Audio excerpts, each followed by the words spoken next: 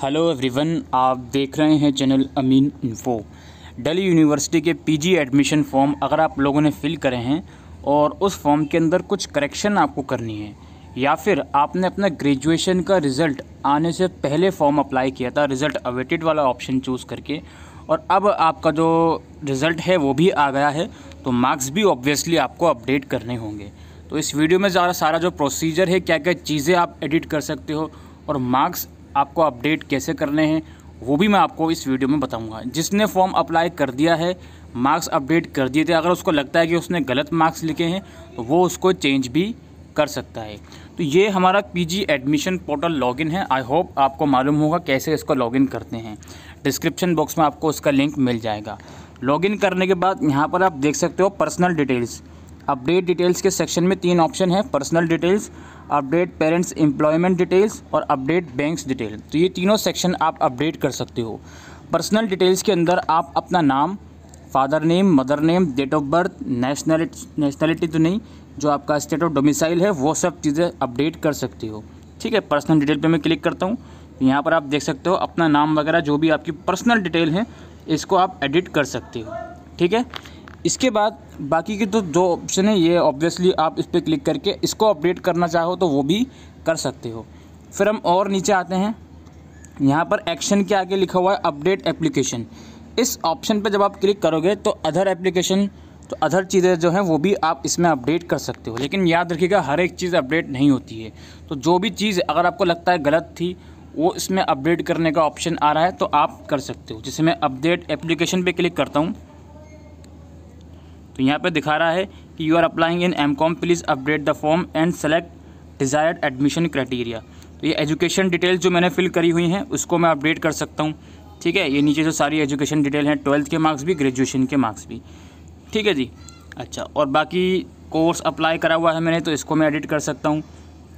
Course को change नहीं करता ऑफ़ कोर्स लेकिन जो एंट्रेंस बेस अगर मेरिट बेस दोनों के लिए अप्लाई करना था मुझे को तो उसको मैं एडिट कर सकता हूँ।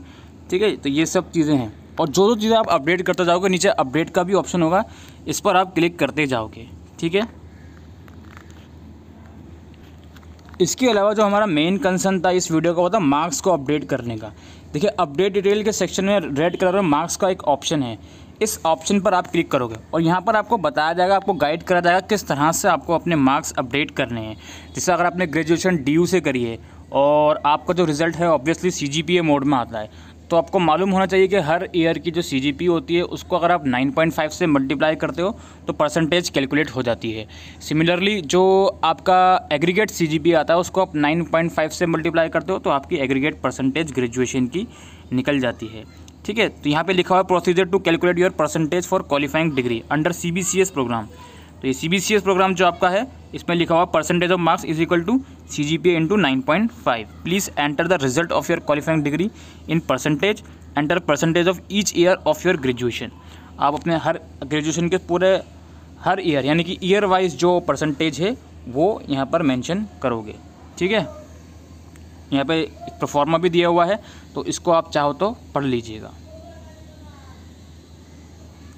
वहीं अगर हम बात करें क्लास ट्वेल्थ की तो क्लास ट्वेल्थ में बोलते हैं कि aggregate of marks five subject including one language in class twelfth board examination तो एक लैंग्वेज को इंक्लूड करना और अपने फाइव सब्जेक्ट के मार्क्स आप इसमें ऐड करोगे। अगर एडिशनल में आपके मार्क्स ज़्यादा हैं तो वो भी आप इंक्लूड कर सकते हो बट फाइव सब्जेक्ट्स के आपको इसमें लिखने हैं, ठीक है?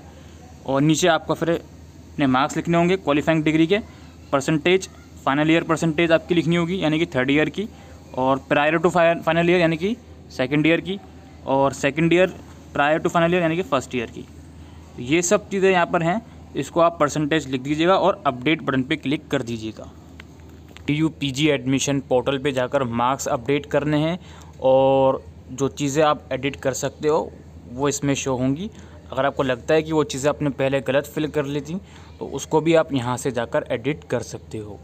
तो इसी के साथ दोस्तों, अभी के लिए फ़िलहाल के लिए वीडियो में इतना ही। Thank you